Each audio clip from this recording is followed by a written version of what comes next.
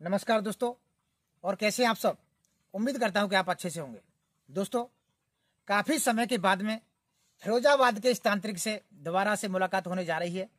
और मित्रों, आज आपकी सेवा में सीमा कीलन का एक ऐसा मंत्र देने जा रहे हैं, जो कि जितने भी तांत्रिक हैं, जो शमशान क्रिया करते हैं, वो शमशान को तो छोड़िए, वो पूरा सिमाने को कीलने के लिए एक ऐसा मंत्र देने जा रहे हैं। एक बार उस मंत्र से आप सीमा कीलन कर दो। आपके पास में कोई भी आपत्ति नहीं आएगी। आपको कोई झंझट नहीं रहेगा, ना कोई नुकसान होगा। भैया जी, सतीश भैया जी, आप ये बताइए, ये मंत्र आपने लिया कहाँ से था? नमस्कार दोस्तों, आज हम फिर दोबारा अपने गुरु के साथ हैं और आपको पूरी वो बताते हैं विधि। ये हमने जो आपको पहले भी बताया था कि हमारे गुरु थे वो शरीर पूरा कर चुके हैं। अच्छा जी। उन्हीं के द्वारा बताया गया मंत्र है। बहुत अच्छा। हाँ। दोस्तों इनके एक गुरु थे जो पहले से ये दीक्षित थे। उनका स्वर्गवास हो चुका है। उनके बाद में ये हमारे से मिले और आज हमारे शिष्य रूप में हमारे साथ रहते हैं। और आज हमारे जितने भी दर्शक हैं उनके जनहित के लिए एक ऐसा मंत्र देने जा रहे हैं। इनके साथ पहले भी एक वीडियो बनाया था जिसमें एक मंत्र उसमें भी दिया था। और आज फिर एक मंत्र हम इनसे ले रहे हैं जो कि आपकी सेवा में हमेशा काम आएगा। तो भैया वो सीमा कीलन का मंत्र क्या है? एक बार हमारे दर्शकों को बता दीजिए साफ़ साफ़ अक्षरों में और धीरे धीरे बोलना है आपको। अच्छा अच्छा। कि अमन भानु पवन भानु गागर ऊपर करहो भानु चंदा सूरज दोनों भानु मेरे बंद पे राम साई पाँच कोस तक फिरे दुहाई। राजा रामचंद्र की आन सीता माता की आन हनुमंत वीर की आन अंजनी माता की आन महादेव बाबा की आन गौरा पार्वती की आन गुरु गोरखनाथ की आने फले मंत्र ईश्वरी वाचा मेरे गुरु का शब्द है साचा। ये मंत्र है और भाई मंत्र तभी काम करता है जब उसको सिद्ध कर लोगे। बिना सिद्ध किए हुए कोई भी मंत्र काम नहीं करता है। तो भैया इसको सिद्ध करने की कोई विधि है तो आप हमारे दर्शकों को बता दीजिए। हर मंत्र दीपावली होली ग्रहण गंगा जी इन पर सिद्ध किए जाते हैं और कोई भी मंत्र हो सवा लाख जाप करने के बाद ही सिद्ध होता है। इस मंत्र को सवा लाख जाप करने के बाद सिद्ध होगा। ऐसा कोई शॉर्टकट तरीका है जो कि एक रात्रि में और कुछ ही जाप करके वो सिद्ध हो जाए? अब दीपावली तो निकल चुकी है। हम्म, किसी भी अमावस्या को हम्म। एक रात में और सिद्ध हो जाता है इक्यावन माला में। बहुत अच्छा दोस्तों अमावस्या तो हर माह में आती है और आप अमावस्या की रात्रि को इक्यावन माला जाप करके इस मंत्र को सिद्ध कर सकते हैं। इसको प्रयोग करने के लिए क्या तरीका है? प्रयोग करने के लिए आप कहीं भी हो इससे पाँच कोष तक की सीमा बंध जाती है। लेकिन उसको सीमा कीलन करने के लिए किस चीज़ की आवश्यकता होती है? जैसे कोई सरसों पीली सरसों से कीलता है। नहीं मिट्टी से। अच्छा मिट्टी से। मिट्टी पड़ के चारों दिशाओं को फेंक दो। हाँ मित्रों उस मिट्टी पर इसी मंत्र को कितने बार पढ़ के? पाँच बार पढ़ के। पाँच बार पढ़ करके चारों दिशाओं मारो।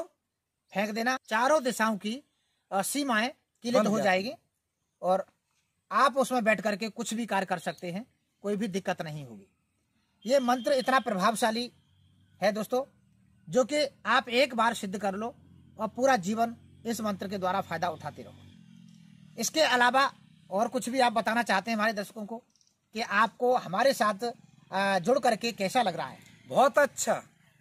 और जितने भी हमारे गुरुजी के शिष्य हैं सभी देख लें और सबको पता है कि गुरुजी कोई झूठी बात नहीं करते हैं। जो भी मिलेगी सत्यता मिलेगी। जो भी मंत्र गुरुजी देते हैं या हम दूसरा मंत्र दे रहे हैं कभी भी प्रैक्टिकल करके देखिए बिल्कुल सत्यता मिलेगी आपको। जो भी होगा सत्य होगा। मित्रों ये जिला फिरोजाबाद के हैं और हम जिला हाथरस के हैं। दोनों ही अलग अलग जगह के हैं, लेकिन ये कहते हैं गुरु और शिष्य का प्यार का नाता जो होता है, उस कारण से कभी हम इनके पास पहुँच जाते हैं और कभी ये हमसे मुलाकात करने आ जाते हैं। लेकिन जैसे ही आज हमारे पास ये मुलाकात करने आए तो हमने कहा, भैया, जो पुराने आपके गुरु थे, उनका कोई अगर ऐसा मंत्र है जो कि हमारे दर्शकों के काम आए, उनका भला होता रहे? तो आज आपकी सेवा में जो मंत्र बताया है, वो पुराने गुरु का है वो हमारे गुरु भाई के समान है। तो मित्रों आप इस मंत्र को एक बार सिद्ध करके और जीवन भर इसका लाभ उठाइए। अच्छा भैया एक चीज़ और बताएँ आप। आप हमारे आश्रम पर गए हैं कभी? जी हाँ। आश्रम पर हम जितना भी सिस्टम कराते हैं वो आपको कैसा लगता है? बहुत अच्छा। अभी पल्ला गाँव आश्रम पर हम रुक के आए हैं।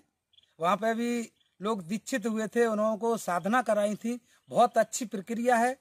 और सही विधि से सही सिस्टम से लोगों को साधना सिखाते हैं। दोस्तों पल्ला गाँव आश्रम पर हम दीक्षित करा के और जो साधनाएँ कराते हैं जो सिस्टम हमारा है उस तरीके से लोगों को अनुभव भी हुआ है सबको अनुभव करा के भेजते हैं वहाँ से। उस तरीके से शायद कोई तांत्रिक कराता हो ये मुझे नहीं पता। हालाँकि कोई ना कोई जब इस लाइन में उतरता है तो कुछ ना कुछ सिस्टम तो बना के तैयार करता है।